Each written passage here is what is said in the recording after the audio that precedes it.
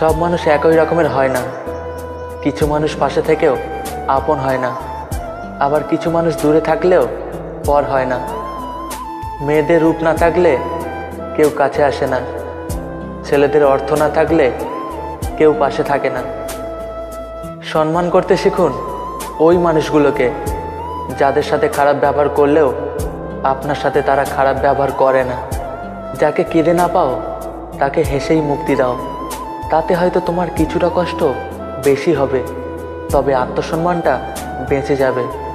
ভুল মানুষকে ভালোবেসে যাওয়া আর অসময়ে ফসল ফলিয়ে ভালো ফল আশা করা একই কথা। কাউকে এতটা আঘাত করো না, যতটা আঘাত করলে নিজের ভুল বোঝার পর ফিরে আসার পথটা বন্ধ হয়ে যায়। পারলে কাউকে ঠোকানোর অভ্যাসটা বাদ দিও। কারণ একজন ঠকতে ঠকতে শিখে যায় আর অন্যজন ঠকাতে ঠকাতে ফেসে যায়। হারিয়ে ফেলার শোক যদি কেউ একবার কাটিয়ে উঠতে পারে, দ্বিতীয়বার সেটার প্রতি তার আর কোনো আগ্রহ থাকে না। অনেকে অনেক কথা বলবে, সব কথা গায়ে মাখলে চলবে না। গুরুত্ব কমে গেলে মানুষের কথা বলার ধরনটাও পাল্টে যায়। মানুষ এখন বোঝার থেকেও ভুল বোঝে বেশি। নিজেকে কখনো কারও কাছে ভেঙে চুরে প্রকাশ করতে নেই। এতে অবহেলা বাড়ে দ্বিগুণ। বদলে গেলে আর আগলে রাখা যায় না। তখন তাকে ছেড়ে দিতে হয়। মনের কথা অন্যকে যত কম বলা যায়, ততই ভালো। মন বদলায়, কথা ফেরত নেওয়া যায় না। বর্তমান যুগে মা বাবা ছাড়া আপন বলে কেউ হয় না। সবাই নিজের নিজেরটুকু বুঝে নিয়ে সরে পড়ে। অভিমান করা তখনই মানায়, যখন তা ভাঙানোর মতো মানুষ জীবনে থাকে। আপনি যাকে ভালো ভাবছেন, সেও কারও না কারও কাছে খারাপ। আবার আপনি যাকে খারাপ ভাবছেন, সেও কারও না কারও কাছে ভালো। সোজা কথায়, একটা মানুষ কখনোই সবার কাছে ভালো বা সবার কাছে খারাপ হতে পারে না। ভালোবাসা আজকাল ঋণের মতোই হয়ে গেছে। নিয়ে তো নেয় মানুষ, কিন্তু শোধ করতে ভুলে যায়। শুধু কি নেশা?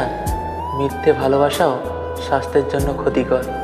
সব সময় হাসি খুশি থাকা মানুষদের একটা বড় সমস্যা হচ্ছে, এদের মন খারাপ কেউ বুঝতে চায় না। কখনো কখনো তোমার মুখটা বন্ধ রাখতে হবে। গর্বিত মাথাটা নত করতে হবে এবং স্বীকার করে নিতে হবে যে তুমি ভুল। এর অর্থ তুমি পরাজিত নও। এর অর্থ তুমি পরিণত। এবং শেষ বেলায় জয়ের হাসিটা তোমারই হবে। ছোটবেলায় যখন কথা বলতে জানতাম না, তখন ঠিকই মা বুঝে নিত। আর এখন বড় হয়ে আমরা কথায় কথায় বলে থাকি, বাদ দাও মা তুমি বুঝবে না। আয়না যদি মানুষকে তার চেহারা না দেখিয়ে মনকে দেখাতো, তাহলে মানুষ চেহারা সুন্দর না করে মন সুন্দর করার জন্য ব্যস্ত হয়ে থাকতো। একটা গাছ যখন মারা যায়, তখন তার সবগুলো পাতা ঝরে যায়। আর একটা মন যখন ভেঙে যায়, তখন জীবনের সব আলো নিভে যায়। যদি কষ্টগুলো বিক্রি করা যেত, পৃথিবীর সবচাইতে ধনী ব্যক্তি হতো অনেকজন। সব কিছুতেই খুব বেশি রাগ ভালো নয়, কারণ এই রাগ আর জেদ জীবনের সব থেকে কাছের মানুষগুলোর থেকে আলাদা করে দিতে পারে।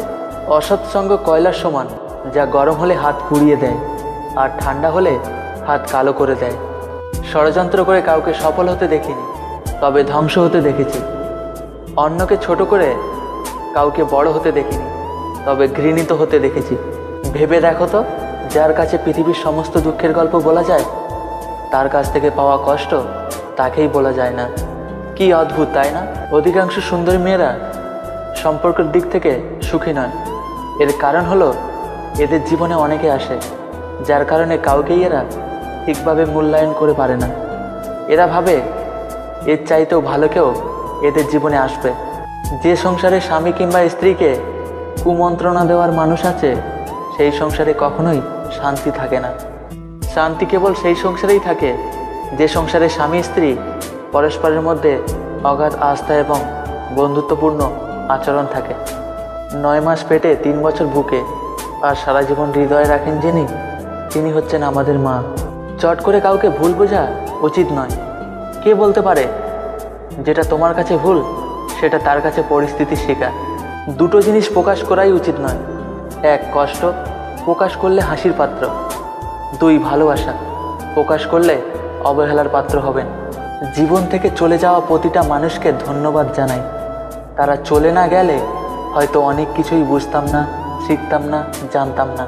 চোখ নিয়ন্ত্রণ ব্যতীত, পাপ নিয়ন্ত্রণ অসম্ভব। আমার হাতে নষ্ট হয়ে যাওয়া জিনিসগুলোর মধ্যে একটা বড় জিনিস হলো, আমি নিজেই। একজনের শূন্যতা কখনো অন্যজনকে দিয়ে পূর্ণ করা যায় না।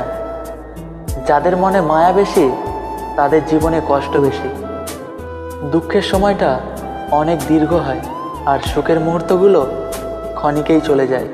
ভিডিওটি ভালো লাগলে প্লিজ একটা লাইক করবেন।